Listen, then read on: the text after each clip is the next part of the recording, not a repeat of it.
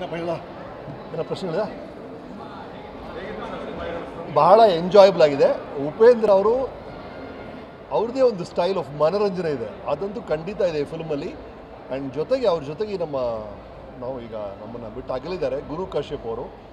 ಅವರ ಡಯಲಾಗ್ಸ್ ಚಿತ್ರದ ಹೈಲೈಟ್ ಆಗಿದೆ ಆ್ಯಂಡ್ ಉಪಿ ಬಂದು ಫಸ್ಟ್ ಹಾಫಲ್ಲಿ ಬರೀ ಹೆಣ್ಮಕ್ಳ ಜೊತೆನೇ ಇರ್ತಾರೆ. ಅಂದರೆ ಅವ್ರ ಜೊತೆ ಗಾಸಿಪ್ ಮಾಡೋದು, ಅದೆಲ್ಲ ಬಹಳ ಭಾಳ ಎಂಟರ್ಟೈನಿಂಗ್ ಆಗಿದೆ. ಆ್ಯಂಡ್ ಕೊನೆಗೆ ಉಪ್ಪು ಇದನ್ನು ಯಾಕೆ ಮಾಡ್ತಾರೆ ಯಾಕೆ ಅವಳು ಹೆಣ್ಮಗು ಹತ್ರ ಮನೇಲೇ ಇರ್ತಾರೆ ಅನ್ನೋಕ್ಕೊಂದು ಅದ್ಭುತವಾದ ಕಾರಣ ಕೊಟ್ಟಿದ್ದಾರೆ. ಎಂಡ್ ಅದು ಭಾಳ ಇಷ್ಟ ಆಯ್ತು ನನಗೆ. ಭಾವನ ಅವರಾಗಲಿ ಉಪಿ ಅವರಾಗಲಿ ಎಲ್ಲರೂ they suit the role very much. ಇಡೀ ತಂಡಕ್ಕೆ ಒಳ್ಳೆಯದಾಗಲಿ ಹೋಮ್ ಮಿನಿಸ್ಟರ್. Thank you. ಇಲ್ಲ ಉಪ್ಪಿಯರ್ನ ಸ್ಕ್ರೀನಲ್ಲಿ ನೋಡೋಕ್ಕೆ ಮಜಾ ಸಿಗುತ್ತೆ. ಯಾಕಂದರೆ ಅವ್ರ ಒಂಥರ, ಅವ್ರ ಒಳಗೆ ಎಂಟರ್ಟೈನ್ಮೆಂಟ್ ಫ್ಯಾಕ್ಟರ್ ಭಾಳ ಚೆನ್ನಾಗಿರುತ್ತೆ.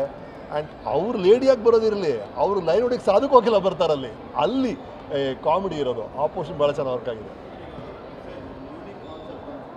ಡೆಫಿನೆಟ್ ಆಗಿ ನಾನು ಪರ್ಟಿಕ್ಯುಲರ್ಲಿ ಇದನ್ನು ಯಾಕೆ ಈ ಥರ ಎಲ್ಲ ಮಾಡ್ತಿದ್ದಾರೆ ಫಸ್ಟ್ ಹಾಫಲ್ಲಿ ಅಂತ ಅದಕ್ಕೊಂದು ಕಾರಣ ಕಾಯ್ತಾ ಇದ್ದೆ ಆ ಕಾರಣ ಬಹಳ ಚೆನ್ನಾಗಿ ಕೊಟ್ಟಿದ್ದಾರೆ ಎಂಡಲ್ಲಿ ಭಾಳ ಕನ್ವಿನ್ಸ್ಗೆ ಆಗಿದೆ ಆ ಕಾರಣ ಕೂಡ.